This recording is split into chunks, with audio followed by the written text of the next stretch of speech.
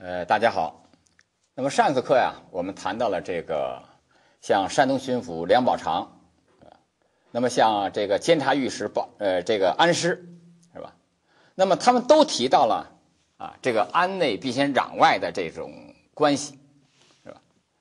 那么但是我们也谈到了啊，对于安内与攘外这个关系认识比较深刻，啊，那么议论更多的应该是史学界。是吧？就是那种批评、诟病比较多的齐英。那么我们下面呢，看看这个齐英啊，他怎么样去认识安内与攘外的关系？那么在鸦片战争之后啊，一八四三年的三月，那么齐英呢，给道光皇帝上了一个密折啊。那么在这个密折当中呢，齐英他说啊，说自古远游，攘外必先安内。什么意思呢？就是自古以来，是吧？这些帝王统治者，他考虑一个很远大的，是吧？这个呃很深刻的啊一个计划或者谋略。他说呢，思民目者啊，就是说一般的，就是呃直接统治老百姓的这些州县官，是吧？他如果说对老老百姓，是吧，能够抚随得宜，教养有法，使民各随其生。啊，使老百姓呢都能够很好的这种生活，啊，说官与民有休戚相关之宜，啊，官和民休戚相关，利益一致，啊，则内安而不患外侮，啊，讲到了内安和外侮之间的关系，内安，内部安定了，就不怕有外国入侵，啊，不怕外侮。他说，但是，啊，他说理想上是吧？理论上是那样。他说，然而呢，啊，但是呢。当时清政府的情况是什么呢？说今之目令啊，现在这些州县官不理民事，不问疾苦，老百姓的事情不闻不问，是吧？动辄与民为难，啊，总是为难这些老百姓，啊，以致民情涣散，啊，造成了老百姓啊这个民情涣散，是吧？那么面对这种情况，齐英啊就大发感慨，啊喟叹，喟叹什么呢？他说：“内不自安，何暇攘外？”说：“说你内部就不安定，你怎么能够去抵抗外侮？”啊，那么这是齐英啊。那么在鸦片战争之后，给道光皇帝的奏折当中提出了“要想攘外，必先安内”，啊，提出这种主张。那么齐英就以中国的最富庶的财富之区，是吧？以这个江苏为例，来揭露当时清政府地方吏治的败坏。那么他讲江苏这个地方吏治败坏有四大表现啊，或者四个主要表现。哪四个表现是吧？我我们在这儿给介绍一下。那么首先一个，第一个啊，他说这个地方官吏啊，在征收钱粮的时候，经常呢是假手书役，任意浮收，就是借这些下级官僚、下级这个书役是吧，任意浮收，多收漕粮啊，浮收就是多收，浮出了这个正额之外。啊，多收漕粮，啊，多到什么程度？他说，甚至每米一担收米至三担内外。说清政府本来说规定收米要收一担，但是地方官府在收的时候，往往达到三担上下，啊，就是都是他的三倍，是吧？他说每银一两收钱至四五千文。那么按照清政府的规定，是吧？应该是一千文制钱。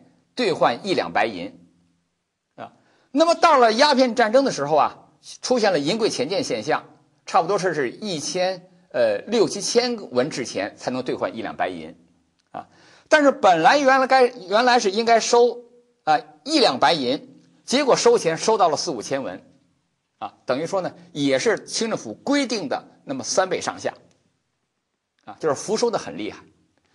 他说出现了这种情况。是吧？那么就导致了一个很严重的一个现象，什么现象呢？就是说，在像苏州啊、松江啊啊这些地方，竟有以所得不敷完纳钱粮钱曹，弃田不顾者。什么意思？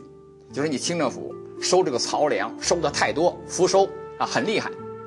那么很多老百姓种了一年粮食，他所收的这些粮食还不足以完成这个清政府这个漕粮啊这个浮收。因此这些人弃田不顾，就是田地我不再耕种了，是吧？耕种的话，我只是你说我这个一亩只收了一千斤粮食，结果我要交的话呢，要交到三千斤，那干脆我就不种了，是吧？竟有呢啊弃田不顾者，啊，他说如果老百姓对此不满，是吧？进行反抗，那么这些书役呢，则以惩一警百为辞，怂恿本官，横加催辱。老百姓一反抗，那么这些人说，这些人都是刁民，是吧？怂恿着地方官对这些个这个老百姓啊，那么进行这种镇压，是吧？那么这他讲到，这是一个地方吏治败坏的一一大表现。就是吏治败坏的第二个表现啊，他是讲到这么一个问题，他说，地方官是吧？如果仅仅是这个收漕粮的时候福收啊，此外再没有其他的对老百姓的这种骚扰了。啊，说这样的话，老百姓呢还能够生存，叫做犹有生机，啊，还能够生存。他说，但是呢，每当民间出现了一种词讼争事、争论，是吧？地方上发生了一些案件，发生了一些这个这个互相之间的一些争论，是吧？这个地方官呢是不给予审理的，啊，就是他不是很勤政，遇到什么事情了，一般发生命案啦、财产纠纷案啦、盗案啦，他去给予审理，是吧？那么遇到这些事情的时候，地方官呢他是不给予审理。啊，束之高阁，啊，说这样的话呢，就造成了一种什么样的一种社会现象呢？他说，出现了一种困啊，棍徒因而无忌，地方这些无赖土棍，是吧？毫无忌讳，啊，棍徒因而无忌，讼师因而拨弄啊，讼师就是鼓动别人打官司这些讼师啊，就鼓动别人挑拨离间，让他们之间互相去去打官司，啊，讼师因而拨弄。书亦因而舞弊，啊，暗中生暗，之外生枝，啊，就是把社会搞得很乱，啊，说无端受累者有之，人亡家破者有之，啊，就讲到社会治安也非常的混乱，啊，因为历史败坏导致社会治安的社会上这种治安的混乱，举历史记载，啊，这个吏治败坏的表现。第三个吏治败坏的表现，啊，他说在参与这些。那么地方官，是吧？如果能够严惩盗贼，啊，维护社会治安，整顿地方的这种秩序，啊，说一般的老百姓啊，小民随不暇日出而作，犹可日入而息，啊，就说你当官的整顿好社会秩序，老百姓白天的时候不能够正常的去啊去生产啊去这个经商。是吧？但是晚上他可以睡个踏实觉啊，是吧？犹可日入而息，晚上可以好好的休息。他说：“但是啊，这个地方官啊，非常的这种腐败，是吧？吏治很败坏啊。”他说：“地方官呢，对于缉捕这个盗贼啊，已成了具文啊，成了一种形式啊。表面上说他要啊捕捕获是吧？呃，这些盗贼，但是实际上呢，都流于一种形式。”一旦发生了地方上盗案，哪个地方出现了这种盗贼，是吧？那么这些官府往往呢是一勒汇报，是吧？就是不让你去报案啊。如果报案的话呢，会影响到他的政绩啊。他说更为可恶的是什么呢？是地方官府啊，同这个盗贼呀，那么相勾结，举历史相勾结啊？怎么样呢？就是这些地方上这些官府。啊，这些捕快啊，这些衙役们啊，换窃得赃啊，豢养一些盗贼，比如说得到一个什么赃物，然后呢，就是让这个盗贼把这些赃物呢售卖给地方上那些呃殷实的大户，那个那个富家富家子弟，是吧？那么然后呢，这官府就来是吧？查，指赃为证，说你偷了是吧？一个什么什么宝物。那么这样呢，就会把这个富家呢牵连到案中来，啊，那么这个富家就要想办法了结这问题，啊，很多时候这富家就要出钱，是吧？那么叫做呢得钱思和，对吧？就是官府得到了钱，是吧？那么这个案子那么就给消掉了，那么也是说，地方官府那么在这个社会上，对吧？对于这个地方这种治安啊，没有能够尽到他的责任，是吧？这个老百姓晚上也很难。呃，很好的休息，啊，它当然会导致啊这个民众对于官府的这种怨恨，说除此之外，清军的啊这个在参官兵是吧，也呢是无不以民为可欺啊，都认为老百姓软弱可欺。据历史记载，是吧？往往呢是借巡查，则勒索商旅，啊，借着盘查、搜查，是吧？勒索来往的这些商人，是吧？买食物则不给价值，买东西不给钱，是吧？牧放营马于田间，啊，把自己这个军队的这个马到民间这个老百姓的田里面去放马，啊，那么是啃食啊或者糟蹋啊百姓的这种庄稼。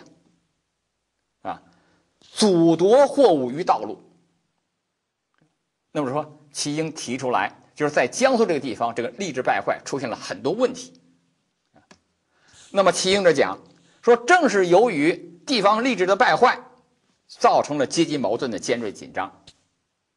啊，那么他还讲了这么一段话，说：官与民，民与兵役，当官的与老百姓，是吧？老百姓。与军队的士兵啊，就是官与民，民与兵役，一同仇敌，双方对立的很厉害，像仇敌一样，啊，就是我们讲的阶级矛盾很尖锐，他说民生日困，民节积其掌上，啊，老百姓生活很困难，老百姓都痛恨他的长官，是吧？说一朝有事，一旦发生了什么这紧紧急的事情啊，一朝有事，不独官民不能相顾。啊官和民之间不能够互相照顾、互相策应，且将相防，而且要互相防备。说困苦无告者因而思乱，啊，困苦无告者就是他们受到了官府这种欺压，没有地方去申报啊，去申告，因而思乱，希望呢啊这个社会乱起来。啊，接着他讲了这么一句话啊，说此时不能御寇之由。说这个呢，正是中国不能够抵抗外国侵略的一个根本的缘由。啊，就是他讲到啊，就是这种吏治败坏啊，对于抵抗外辱的这种呃严重的这种负面的影响作用。那么正因如此，那么齐英者提出来，是吧？那么在鸦片战争之后，清政府提出来种种善后事宜，怎么样去善后？齐英提出来，首重啊，最首要的。啊，最重要的什么呢？首重慎选首令，啊，最重要的是选择好地方官，啊，要选择那些清正廉洁的，是吧？有操守这些官员，啊，用我们现在话讲，就是选择干部，是吧？他要德才兼备，是吧？他要勤政爱民的，是吧？说首先要注重选择这些首令啊，这些州县官，说然后。啊，约束疏狱，清理词讼，是吧？严拿盗贼，啊，那么从这个入手来缓和阶级矛盾，收拾人心，啊，他说只有这样才能够使呢良民为我所用，啊，就是按遵纪守法的良民，那么可以为我所用，啊，幼民就是不好的啊，那些奸民，幼民亦化为良，啊，这个幼民呢，这奸民呢也可以变成良民。啊他说，在这么一种情况之下，虽有强寇当前而众志成城，啊，虽然英国人他强很强大。啊，但是人民呢是众志成城，啊，彼亦无能为意矣。那么英国人他也没有什么作为了，啊，他认为这样做啊就可以不战而屈夷，因为什么呢？因为官府有老百姓的支持，可以不战而屈夷。那么这是齐英啊。在给道光皇帝的密折当中讲到的这么一个思想，那么我们应该这样看啊，就是说吏治的这种败坏不是清朝所独有的，也不是道光朝所独有的，啊，就是中国历代的封建统治阶级当中都存在吏治败坏这种政治现象，啊，那么一些开明的君主是吧？一些这个呃清正廉直的地方大臣啊，这个呃呃政府官员。那么他们也提出了怎么样整顿吏治的这种主张，那么就这个意义上而言，就是齐英所揭示的清廷吏治的腐败，应该说没有什么太大的政治意义，是吧？因为以前有很多人也在谈论这些问题，也在探讨怎么样整顿吏治，啊，那么但是我们不能不承认的一点是什么呢？就是齐英把清廷吏治的腐败，造成了阶级矛盾的激化，同中国人民反对外国侵略的斗争联系起来考察，是吧？齐英把安内和攘外啊联系起来，而且是把安内，是吧？的重点放在了整顿吏治、缓和阶级矛盾方面。那么就此而言，齐英的这个主张应该说是具有政治眼光的，啊，也可以说它是一种正确的。那么这是我们讲到齐英的这他的一些思想，啊，就是提到了这安内和攘外的这种思想，啊。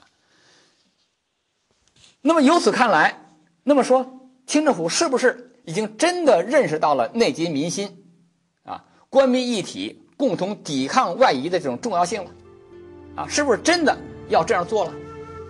啊那么其实事实上呢，又不是这么简单，就是清政府他认识，是吧？是一个问题，他是实际上能够做到一种什么程度，那么又是另外一个问题。那么清政府这个内结民心、以民制夷，啊，那么他们在很多时候仅仅是他的一种主观愿望，啊，主观上他们希望是这样。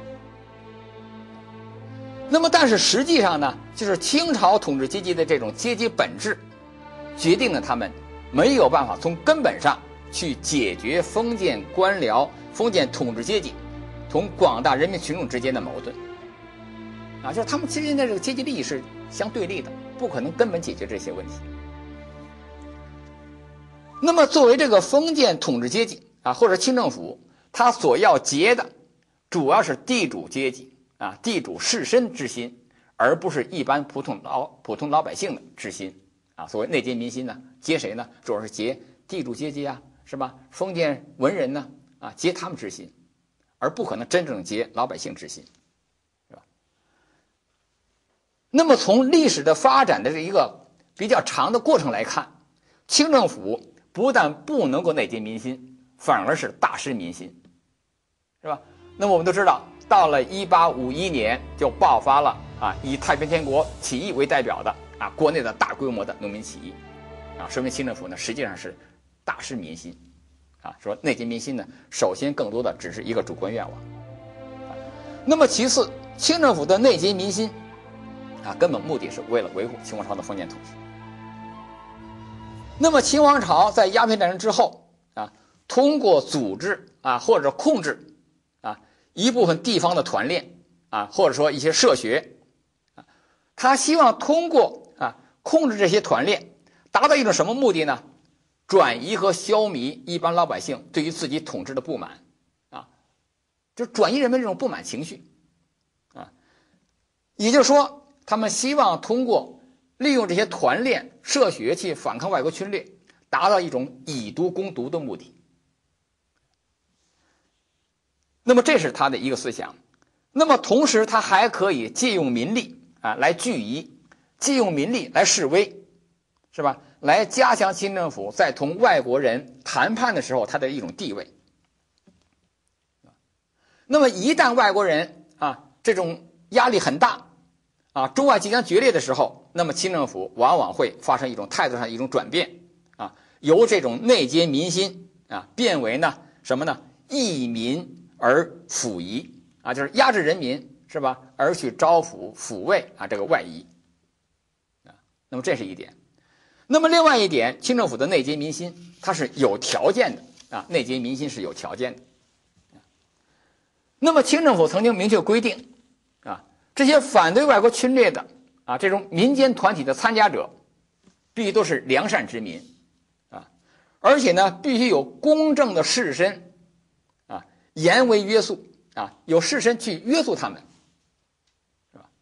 那么也就是说，这些社学、这些老百姓啊，所进行的一切的反对外国侵略的斗争，必须都绝对处于清政府的控制之下，是吧？那么清政府需要你去反抗的时候，那你就要去反抗，是吧？需要调和的时候，需要对外妥协的时候，那么这个清政府就责令地方上的士绅。于民夷兵探之处设法排解，老百姓和外国侵略者民夷兵探之处互互相水火的时候，由这些士绅来设法排解、调和他们之间的矛盾。那么一旦当这个外患渐轻的时候，啊，就是外国侵略对中国的侵略的威胁不是很大的时候，那么清政府就本能的把这些民众的力量视为啊危及自己统治这个挑起啊中外冲突的一种祸端啊，这个时候他思想就会发生了变化啊。那么一八五零年六月啊，江西学政这个张福他曾经讲过这么一段话，他说呀：“民强故可用。”特患过强则不可用，啊，说这个人民呢，他很强悍，说这个很好，可以利用，但是他太强了，那就不好了。为什么不好了呢？就会危及到清政府自身的统治，啊，那么这是内结民心的啊一个很大的一个局限。那么再一点，清政府的内结民心啊，它是有限度的，啊，就是他利用民众的力量呢去抵抗外国侵略，是吧？但是他又不相信依靠民众的力量。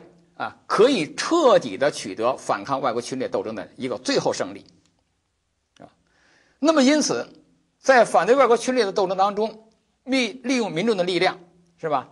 那么他往往呢是见好就收，啊，他不能够把反反对外国侵略的斗争呢啊，那么长久的坚持下去，啊，那么这是我们所讲到啊，这个清政府的这个呃安内必先攘外政策的啊，那么第一个问题就是安内攘外政策的提出的。啊，它的初始内容，啊，那么这是我们讲的第一个问题。那么下边呢，我们接着讲第二个问题，啊，攘外必先安内政策的提高与升华。那么我们如果说啊，第一次鸦片战争的失败，使一部分封建统治者意识到了啊，官民隔阂啊，阶级矛盾尖锐，是影响清政府攘外的啊一个重要的原因，是吧？那么，在一定程度上开始注意缓和阶级矛盾啊。如果是这样的话，那么鸦片战争之后，广州人民反对英国人进入广州城的斗争啊，取得的胜利，那么就使得一部分清朝统治者进一步的坚定了这么一种思想啊，把安内与攘外结合起来了啊，并且使这个安内与攘外政策提高为一种什么呢？以民治夷的政策啊，以民治夷的思想。啊，那么关于这个问题呢，我们也简单的说一下。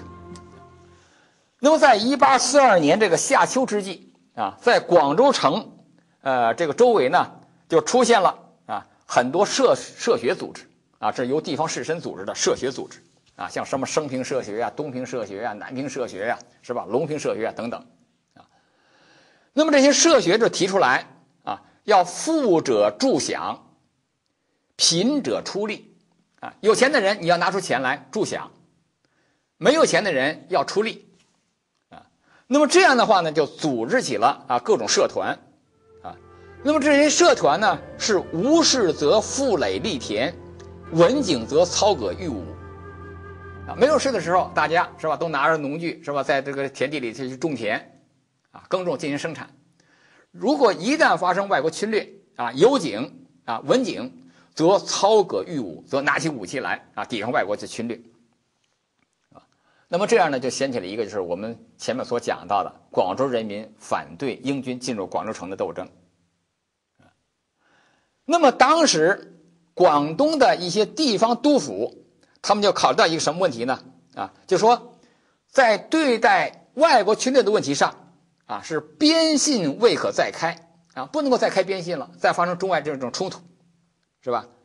而内地民心犹可不失啊，犹不可失啊。说边信不能够出现，但是内地的民心，尤其是不能够失掉的啊，不能够失掉啊，老百姓这种人心。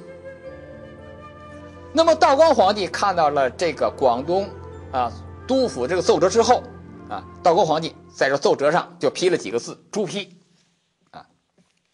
他说什么呢？他说内地民心。攸关紧要啊，内地民心是非常重要的啊，必须顾结啊，必须要顾结民心啊，就告诉这些地方官啊，要慎之免之啊，一定要重视重视人心啊。那么过后不久，道光皇帝还感到自己的意思没有发挥到极致，是吧？还是意犹未尽啊。那么道光皇帝又专门给广东的地方的总督巡抚发了一个上谕。这个上谕当中啊，一方面讲，在处理中外关系的时候，要使外国人是真心的来贴服，是吧？啊，不给他以什么借口。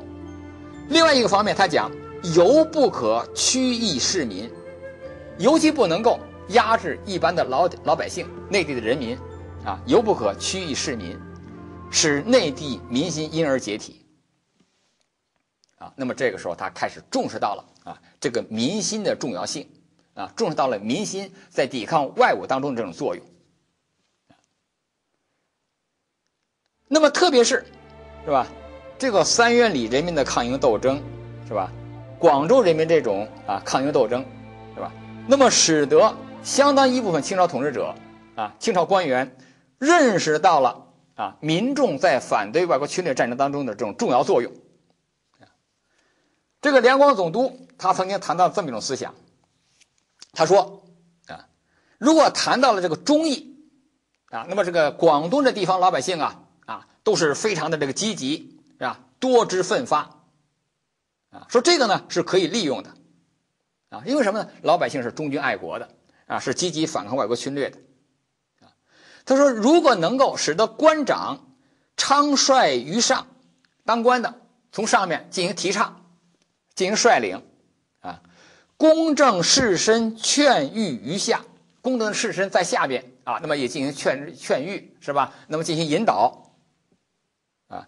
以私斗于公义，尽游勇以知方，啊，就是老百姓平常那种为了个人的利益而私斗啊、械斗，把它转移到什么呢？于公义，啊，为了维护朝廷，为了维护国家民族利益，是吧？从外国方面去进行斗争，尽游勇以知方，是吧？使得这些人虽然很勇敢、很强悍，但是呢，要指的懂得方法，接受清政府的这种管辖，是吧？这种领导。啊他说：“这样做就可以呢，野人即心腹之选，啊，就是平常一般老百姓也可以成为清政府的啊一个心腹，是吧？那么他又讲了这么一种思想，啊，他说什么呢？他说国家设兵原以为民，国家设立军队本来是为了保护人民的，他说而兵之为民，恒不若民之自卫，啊，说利用这些清队的士兵去保卫人民。”不如由这些老百姓、这些人民自己来进行自卫，是吧？那么正是基于这么一种认识，那么这个这个两广地区的总督巡抚再次给道光皇帝上奏折啊，讲什么呢？说总以民为邦本，民心坚定，则国事自彰。啊，老百姓是国家存在的一个基础根本，啊，老百姓的民心坚定，啊，国家的这种。声势啊，国势就可以得到扩张，啊，得到伸张，啊，说外夷之所惮者在此，内地之所恃者亦在此。什么意思？就说外国人最怕的就是民心，是吧？他所惮啊，外夷之所惮者在此，内地之所恃者亦在此，是吧？就说内地中国自身所依靠的也是要依靠民心。啊也就是说，到了这个时候，清政府内部啊，那么这种呃以民治夷的思想啊，那么就啊进一步的明确的表露出来了，也可以说是啊安内攘外政策的一种升华，是吧？那么特别是广州人民是吧，反对英国人进入广州城的斗争啊，取得的胜利，那么这个呢，就使得清朝统治者啊对于民利民心的这种认识就有所提高了。是吧那么道光皇帝一而再再而三的给广东的总督和巡抚，还有驻广州的将军啊，那么就不断的发上谕啊，发了很多上谕啊。那么上谕当中也再三强调一个什么问题呢？说平日固结民心以为根本啊，平时要固结民心，这是一个根本啊。说这个地方总督、巡抚这些封疆大吏。啊他的责任呢是重在安民，民心不失，则外无可迷。啊，那么这是一段话，后面还有说勿当固结民心，激扬士气，一定要是吧？那么能够收揽人心啊，使老百姓啊都团结在清政府周围，是吧？故当务结民心，激扬士气，以安民为辅一之本，啊，安抚老百姓来作为抵抗外国侵略啊，它的一个根本啊。那么他还讲，该以这主要指的英国人啊，该以既不为兵而为民啊。那么外国人呢，他既然不害怕清清政府的正规军，而害怕老百姓，则收服民心，即可化其骄而治其命。那么清政府明确的提出来，要以民治夷。那么广州人民这个反入城斗争的胜利，啊，那么首先应该归功于普通的老百姓，是吧？这种反抗的这种情绪，啊，那么但是清朝统治者对外敌入侵这个问题上，啊，他的以民治夷思想的提出，啊，无疑应该说是他的攘外必先安内政策的一个进步或者一个升华，啊，这是我们讲的这个第二个问题。啊那么关于这个问题呢，我们就先讲到这儿啊。下次课呢，我们再讲第三个问题。